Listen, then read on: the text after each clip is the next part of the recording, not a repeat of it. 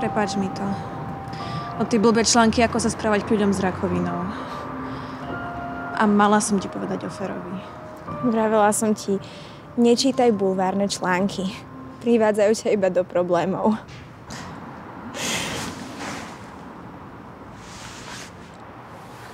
Už sa nebudeme hádať. A mne je jedno, či sa hádame. Hlavne sa uzdrav a príď už do školy. V tomto prípade sa už neviem dočkať, kedy sa pohádame. Môžem ti niečo povedať? Musíš.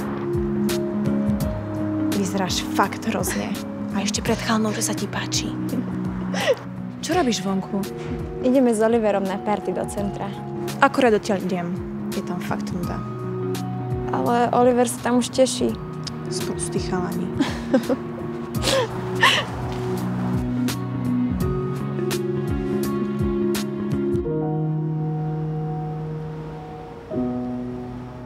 Jenny nevyzerá vôbec dobre.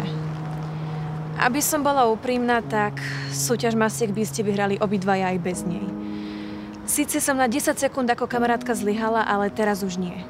Mám za ňu zodpovednosť. Ide naspäť. A ty budeš ten zlý, chápeme sa? Môžem? Súhlasím. Hm, presne toto som čakala, ale... Jaj? Ty súhlasíš? Super. Tak poď. Autobus nám ide o 5 minút. Musíme sa vrátiť. Nie, nie, nie, nie, nie. Ale áno. To je otec.